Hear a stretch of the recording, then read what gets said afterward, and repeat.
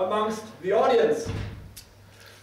Which of you would prefer or do you feel attracted by the red color? Hands up. Which is, you prefer the red color? Who prefers the blue color? Okay, okay, interesting. Okay, all those who prefer the blue color may now leave the room. Okay? Because you, you don't need to hear what I'm going to tell you.